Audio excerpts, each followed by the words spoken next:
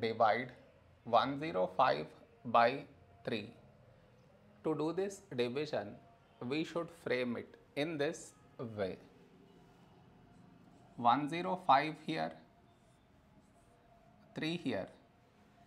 This is your step 1. Next, here we have 1, here 3. 1 smaller than 3, so we should take two numbers 10. A number close to 10 in 3 table is 3 3s 9. Now we should subtract, we get 1. After this, bring down the beside number, so 5 down, so 15. When do we get 15? In 3 table, 3 5s 15. Now we subtract, we get 0. After this, no more numbers to bring it down and we got remainder 0.